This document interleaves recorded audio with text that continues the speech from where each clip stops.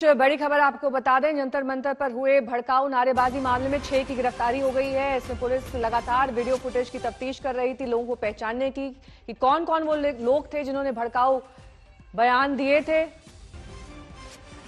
छह को गिरफ़्तार कर लिया गया है जंतर मंतर के इस भड़काऊ बयान मामले में। लगातार पुलिस की भूमिका पर भी सवाल उठ रहे थे।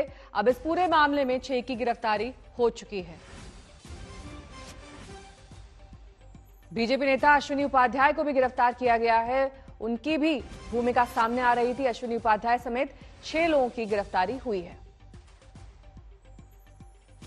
दीपक सिंह और दीपक को भी गिरफ़्तार किया गया। इनसे कल पूछताछ की गई थी। भड़काऊ बयानबाजी मामले में अब छह गिरफ्तारियाँ कुल। रविवार को यह घटना हुई थी जंतर मंतर पर, जब भारत छोड़ो आंदोलन की सालगिरह के मौके पर भारत जोड़ो आंदोलन जैसा कार्यक्रम आयोजित किया गया। हिमांशु मिश्रा मेरे सहयोगी इस तमाम जानकारी के साथ जुड़ गए हैं। हिमांशु, जो छह लोग गिरफ़्तार किए गए हैं, उनकी भूमिका किस तरीके से सामने आई है इस मामले में?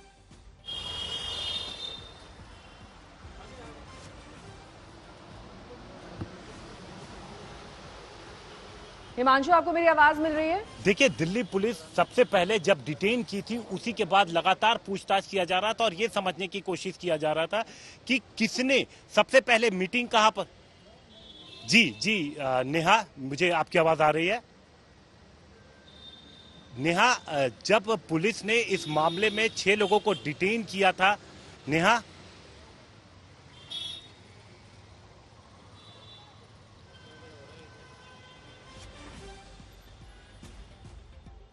ठीक है बोलिए हिमांशु आपकी आवाज़ आ रही है।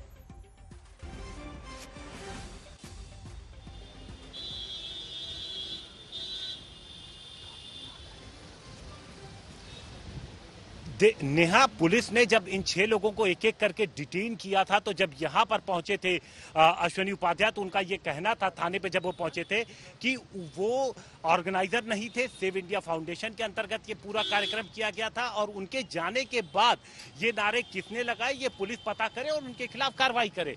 लेकिन पुलिस ने इस मामले में पहले एफआईआर दर्ज कर ली थी, और अब एक एक करके पुलिस ने छह लोगों को गिरफ़्तार किया है, उनसे अभी भी पूछताछ जारी है पुलिस जो इनसे समझने की कोशिश कर रही है वो ये कि सबसे पहले मीटिंग कहाँ पर हुई थी?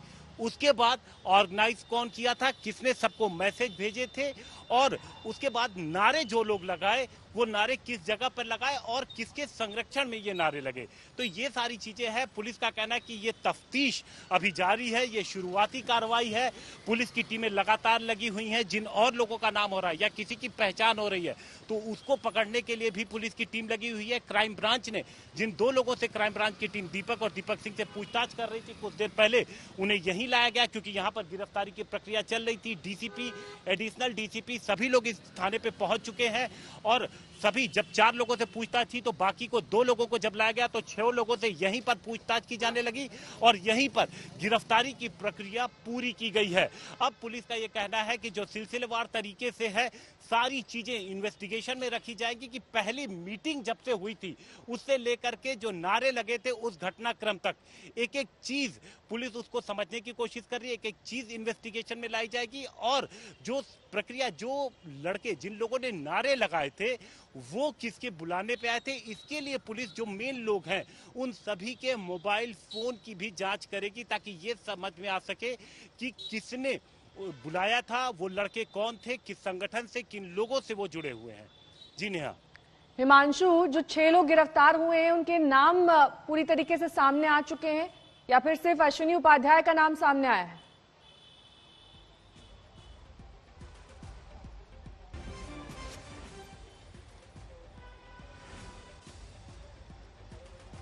नहीं, इसके अलावा पुलिस ने दीपक दीपक सिंह, प्रीत, इन सभी लोगों को गिरफ़्तार किया है, जिन छह लोगों से पुलिस पूछताछ कर रही थी, और इन सभी लोगों को पहले डिटेन किया गया था, पहले थाने बुलाया गया था, स्टेटमेंट दर्ज किए गए उनके, उसके बाद उनकी वेरीफाई किया गया कि वो लोग मौके पर मौजूद थे या नहीं थे, कहीं से ऑर्गेनाइजेशन कमेटी में जुड़े थे या नहीं थे, उन लोगों ने कोई सोशल मीडिया पर मैसेज वायरल किया था कि नहीं किया था, इन सारी चीज़ों को वेरीफाई किया गया, लगातार रात भर पुलिस की टीम इस मामले पर कार्रवाई करती रही और उसके बाद पुलिस ने शुरुआती कार्रवाई करते हुए इन छह लोगों को गिरफ़्तार किया है, जिनसे अभी भी पूछताछ जारी है। जिसके लिए जो वरिष्ठ अधिकारी हैं, ज़िले के डीसीपी हैं, वो पहुँचे हुए हैं और अब इन लोगों को पुलिस जो है, ये समझने की कोशिश कर रही है कि जो नारे लगाए थे जिन लड़कों ने, उस वक्त उसकी लोकेशन क्या थी, एग्जैक्ट लोकेशन क्या थी, किसके मोबाइल में किन किन मोबाइल में जो ये वीडियो वायरल हुए, वो शूट हुआ था तो वो कौन लोग हैं?